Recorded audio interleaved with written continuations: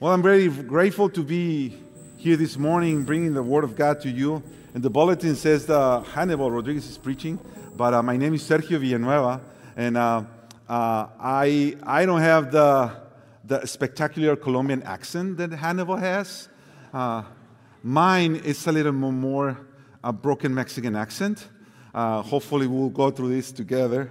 I've been serving, actually, um, February 1st. I celebrated my 19 years here serving in Wheaton Bible Church. And it, it was been a blessing. Yeah. Uh, I thought that I should wait to say this on next year when I turn 20, but I said, well, 19 is also another year to celebrate. Why should I wait to turn 20?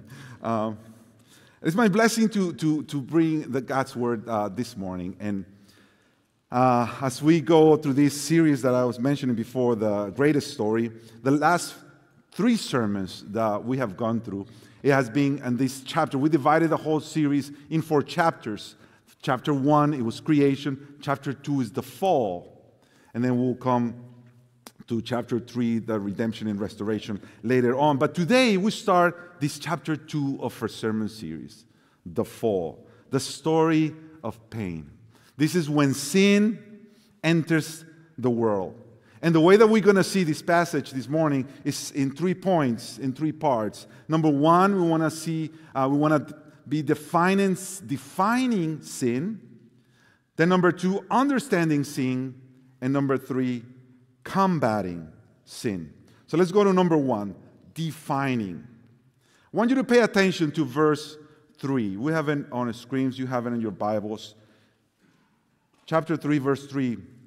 God said, you shall not eat of the fruit of the tree that is in the midst of the garden, neither shall you touch it, lest you die.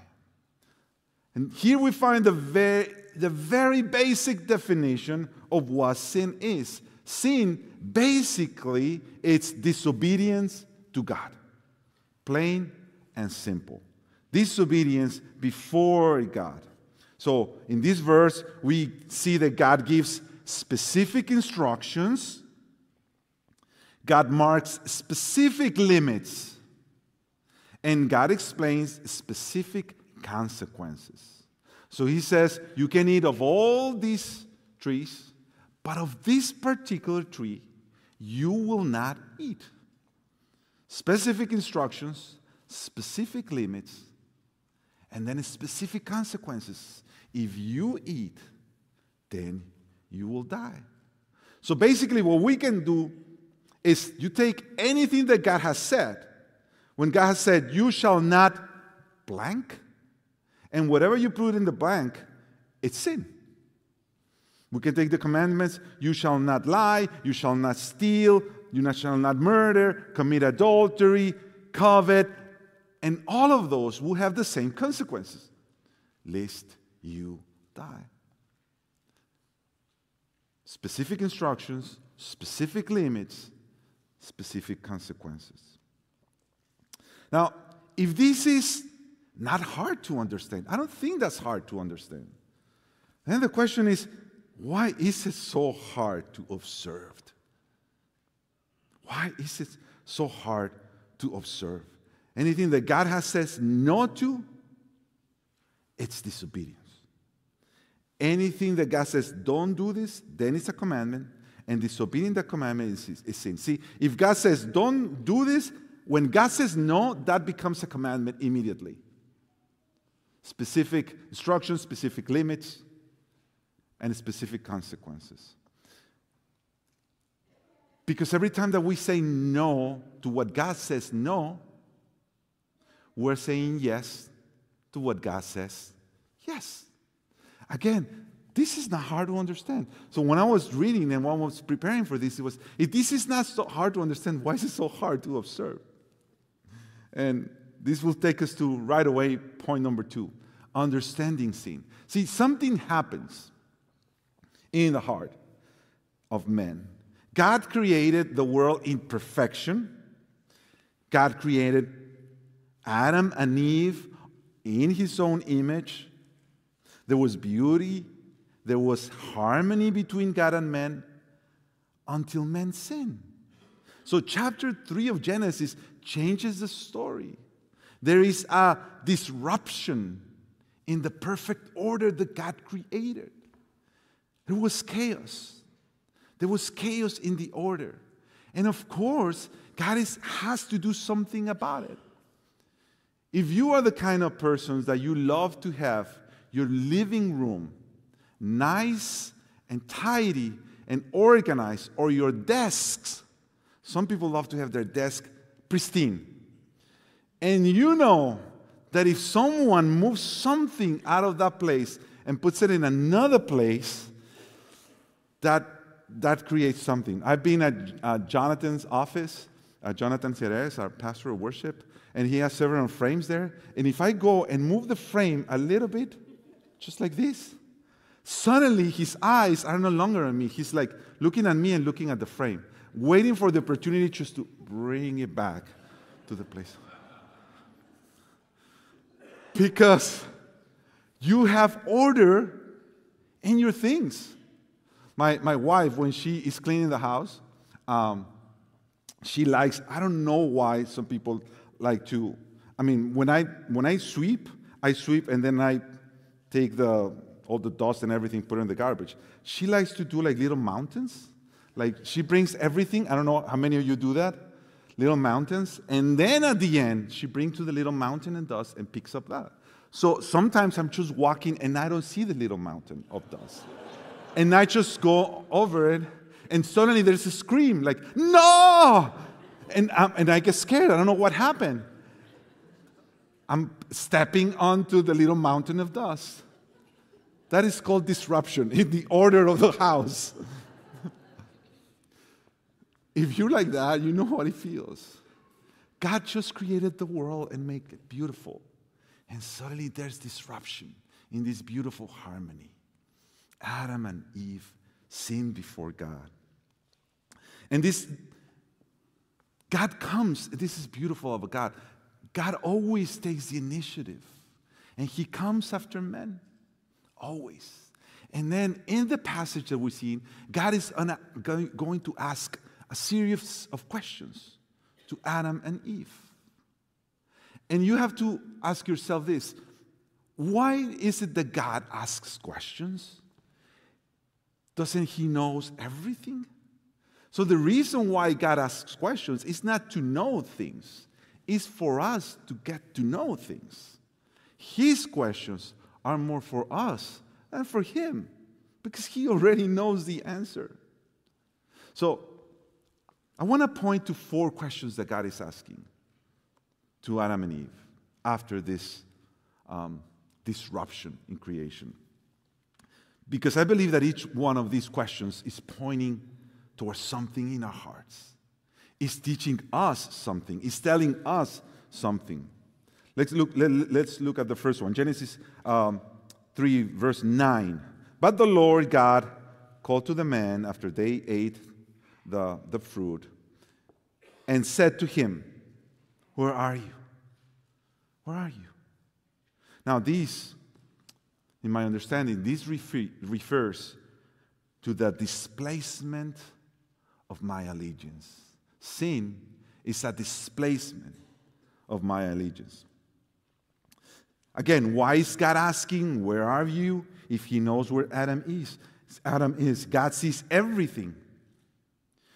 And you can say that God is taking the initiative, seeking Adam. You can say that God is also alluding to the shame and fear that Adam is showing because he, he's hiding, the passage says, because he's feeling shame. First time the mankind experiences shame and guilt and fear.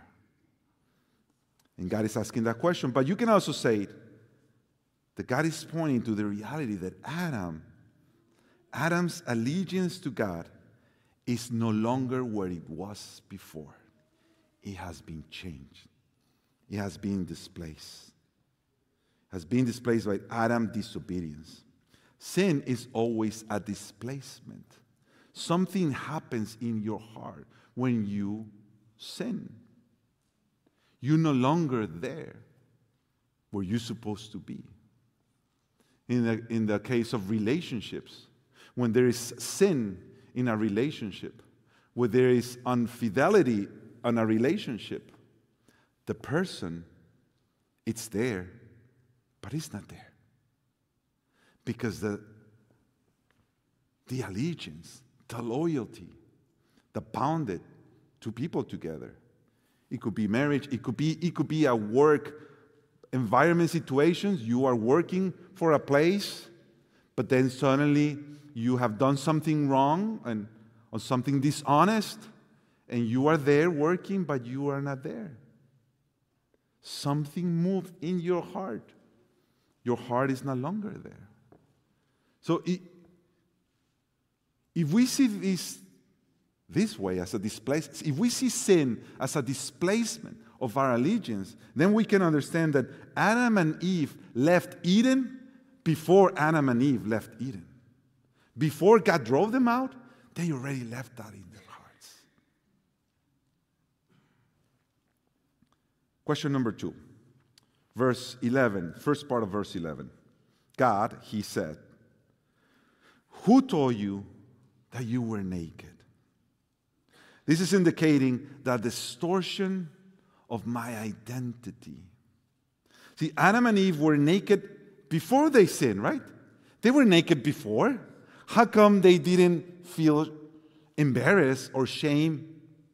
It's because when they opened and they went against God, again, this disruption in their hearts, in their allegiance, allowed them to see themselves in a different way that they saw themselves before. This is creating a different perspective that they have on God and that they have on themselves. Because before sinning, they, they were seeing themselves through the eyes of purity. They were pure. The look that they have before the, the fall, it was pure. There was purity in the garden. Sin tainted that. Sin created an illusion. Hence, the distortion of our identity. They're not seeing themselves as they were created originally. They're not seeing God as the one who's absolute. Now they say that they know better.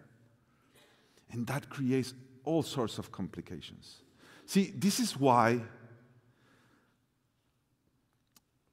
when either someone has done something to you and you retaliate, and there's bitterness in your heart, or jealousy, or envy, many times you end up seeing things that they're not there.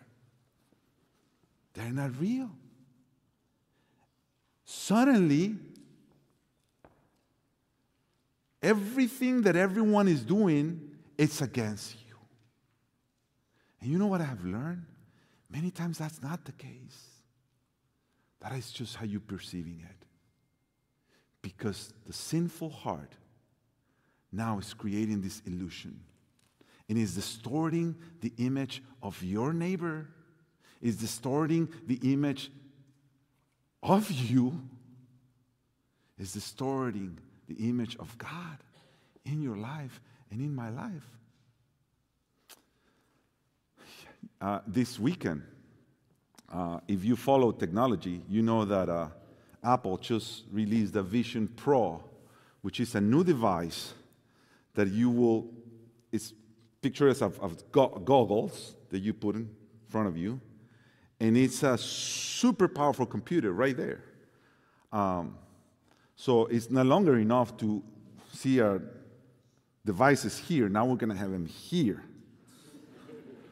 Uh, now, I need to say, I love technology. I love technology. Me and my sons, I have two sons, and we have, when, when Steve Jobs used to develop, used to uh, unveil a new Mac years ago, my sons and I, we were there with popcorn and everything. It became like an event for us. Um, with the years, uh, technology is, is, it's all over the place. But this is becoming something that no one has seen before. And the thing that interested me the most is I'm watching several videos about the creators and the influencers that have access to this and they're, they're making videos telling you what is it like to be in this. Because the whole point is this you put these goggles on, If I put them right now, I will see you, all of you. Like, a, but then I see a floating, floating screens, like a computer. But they're in front of you. And, and now I can do whatever I have to go, do on the internet. I don't need a keyboard. I just use my hands because this thing has sensors all over. So if I go like this or if I go like this, it's taking me to different places. So, so in the future, uh, we're no longer going to see people just like this. We're just going to see people walking like this. uh, I guess that's where we're going as a, as a human society. Um, but my point is, not let me grow. I'm excited about trying one of those one day. Uh, I don't know if it's going to be soon because they're super expensive.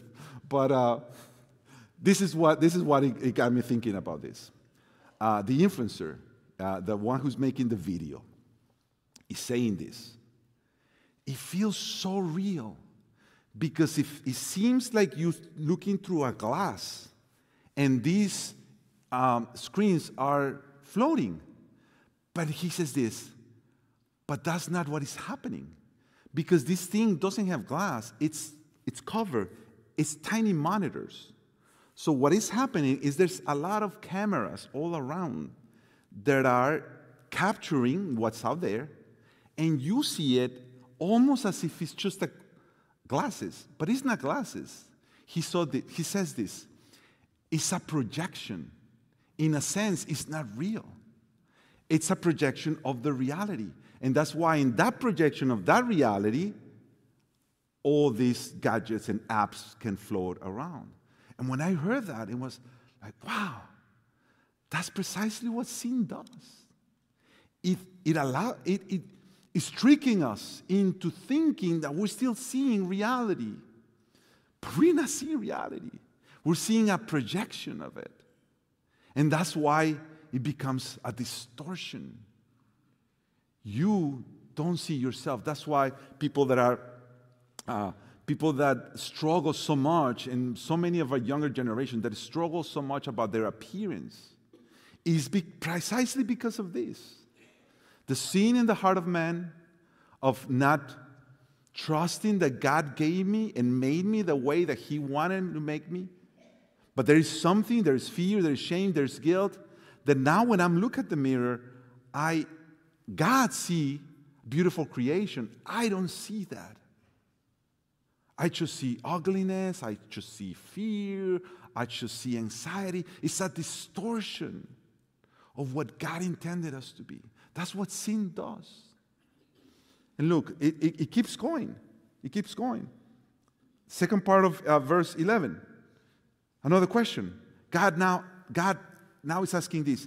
Have you eaten of the, eat, eaten of the tree of which I commanded you not to eat? So you did precisely what I asked you not to do when I gave you all these fruits. Did you eat the one that I told you not to eat? We're not the other ones enough for you. So this speaks of the discontent of my soul. You know that every sin, when you go deeper into sin, every sin is discontentment. Every sin is discontentment. We don't like this way. God says no to this. Somehow, I don't like that. I don't like that he said no to this. Now I want to say yes. Why does it have to say why does it have to be no? Why God knows better? What if I want to try it? What if everything that God said, see, God said no to this, but God said yes to all this. Remember, every other tree in the garden, they were able to eat and enjoy, but not this one. So this is this is this bears the question. Let's ponder this for a moment. Everything that God gave Adam and Eve in the garden, everything they could eat. And now the one single tree, he told them it was out of reach. Was that too much to ask? The the passage says that the woman saw the fruit, and she saw that the fruit was good for food, was a delight to the eyes, and was desired to make one wise. And if you remember a couple of sermons ago, Hanibal made the emphasis that what God made, it was good. And in fact, it was very good. But for men, for Adam and Eve, there was one problem. Even though what God made, it was very good, it wasn't enough. It wasn't enough. Because the discontentment of their hearts. See, once there's discontentment in the heart, there's nothing you can do. Because God gave them everything and it still wasn't enough. You, if you see it that way, sin, at the root of sin, is this discontentment with the goodness of God. Because if God is good, if He is, and He made all these things good for me to enjoy, suddenly it's still not enough. I need to have this other thing that He told me not to. I need to do this other thing that He asked me not to do. It's the discontentment of our souls. Sin is discontentment with the goodness of God, and He has the power to make something that He was very good into not good enough. See, sin is dangerous. Sin, that's why sin is evil. Sin is not just a fault, it is a fault. It is a bit disobedience, but, but the ramifications, they go so much deeper into our hearts. Let's go to the last question. Verse 13. Then the Lord God said to the woman, What is this that you have done? What is this that you have done? Finally, and ultimately, at the core of sin is the distrust of my devotion to God. In the end, sin, it's about worship. It's about worship. Sin is more than just a mistake. Sin is who I decided to worship in that moment. And it was not God. Pastor John Piper wrote this Sinning is any feeling or thought or speech or action that comes from a heart that does not treasure God over all other things. And the bottom of sin, the root of all sinning, is a heart that prefers anything above God the discontentment, the distrust. And then Pastor Piper adds, What is sin?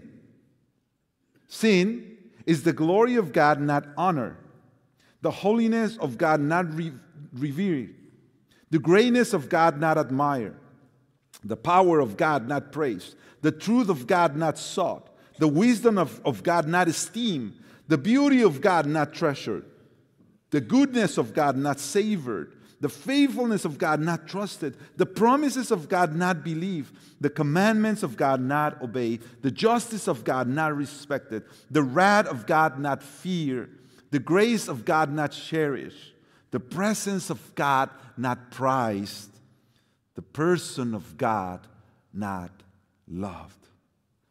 Sin, my brothers and sisters, is not something lightly. It, disrupts the whole creation. It displaces us from our worship and allegiance to God. It brings all this discontentment in my soul towards God, He gives me this distrust of God and His goodness. The Apostle Paul will write it this way when he's writing to the Romans. In chapter 1, verse 21 to 25. For although they knew God, speaking, referring to mankind, and sinful mankind. They did not honor him as God or give thanks to him, but they became futile in their thinking, hence the distortion of identity. And their foolish hearts were darkened. Claiming to be wise, they became fools, since that, that to us. And exchange the glory of the immortal God, exchange the glory of the immortal God for images resembling mortal men and birds and animals and creeping things. Therefore, God gave them up in the lust of their hearts to impurity, to the dishonoring of their bodies among themselves, because they exchanged the truth about God for a lie and worshiped and served the creature that, rather than the creator who's blessed forevermore. Amen. Ultimately, sin has to do with who are we worshiping in that moment. Theologian Lesslie Newbigin said, Sin is unbelief. It turns man from God to a false God, himself. So every moment that we sin, there's actually a moment of worship happening right there. It's interesting that uh, the first murder in human history, we read a portion of it, Genesis 4, a brother killing his brother. It happened in the context of why they, how they thought God should be worshiped the first murder, the first moment of antagonism between two brothers came in the midst of how are we going to worship God, came in the midst of a service worship. See, sin goes wait. See, we think that sin is waiting for us outside the doors of the church, but sin comes right in and it follows us because it's not something outside of us, it's a discontentment in our hearts. And we carry it. And every moment when we sin, in that moment, there's a worship service happening.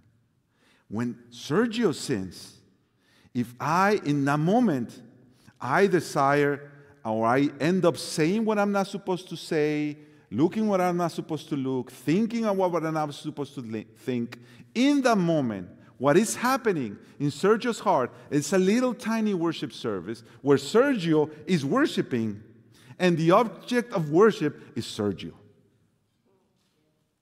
And I say, Sergio, you deserve everything. You deserve the glory. You deserve everything right now. You are ultimately, you rule.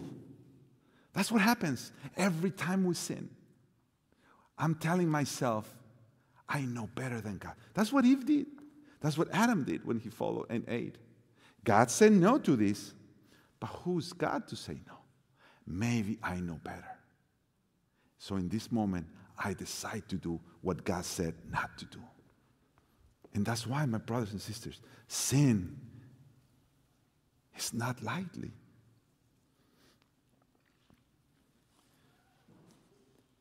If you are in sin, repent. Return your allegiance back to God. Restore your identity in Him.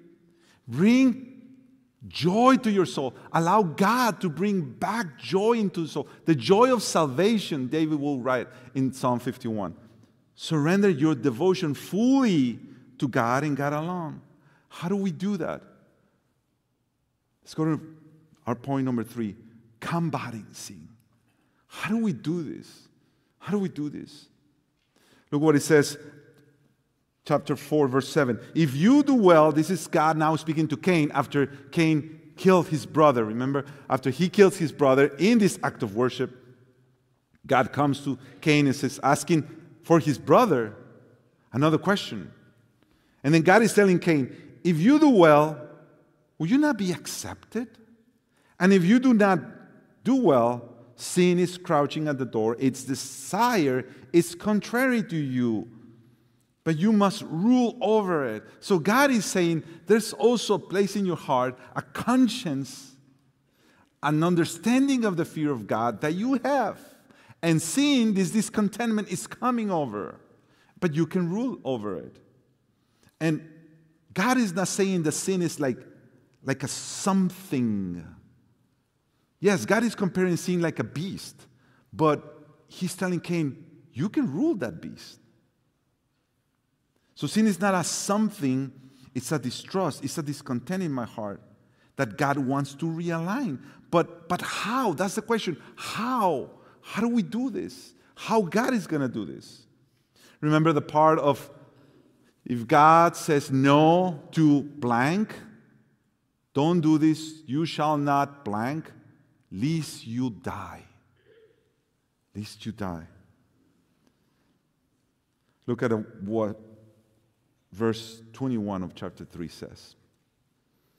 And the Lord God made for Adam and for his wife garments of skin and clothed them. God, God made.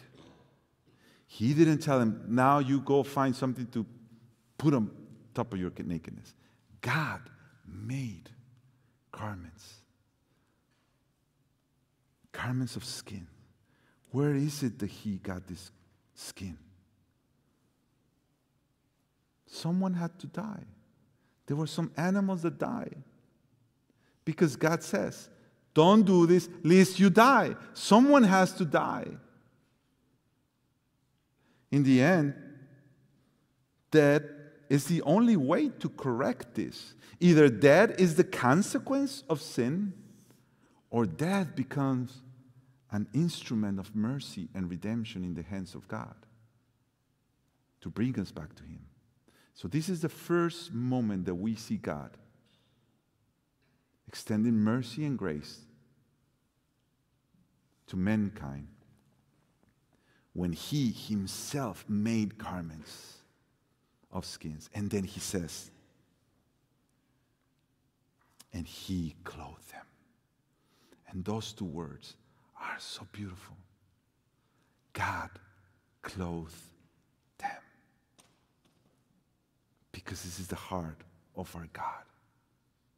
It's a God that even though His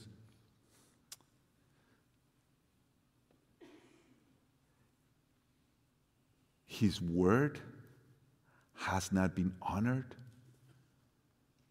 and sin has been uh, a rising up of myself going against God, He, in the end, extends mercy, finds a way to show mercy. Someone dies, and God makes a garment, and He clothed them. I want to invite you, as we prepare our hearts, to come to the table of the Lord, to hold in your heart this reality. The sin is something that is not wait is not something that just happens to me. It's my own discontentment. It's my own distrust in God that, that displaces me from His presence. then distorts how I see Him, others, and myself. And the only way to escape this, it's either die as a consequence of, or that someone will die for me. I would invite you as we're going to hear this worship song. Hold this reality in your heart. Let's pray. God, we humbly come to you, realizing that our disobedience, our lies, our covetousness, our jealousy, our enviousness, our anger, our impatience, it's not lightly. It brings disruption to this beautiful creation. We come before you, Lord and we ask for your mercy, for your grace, your forgiveness. We deserve death. Thank you for providing a way for us.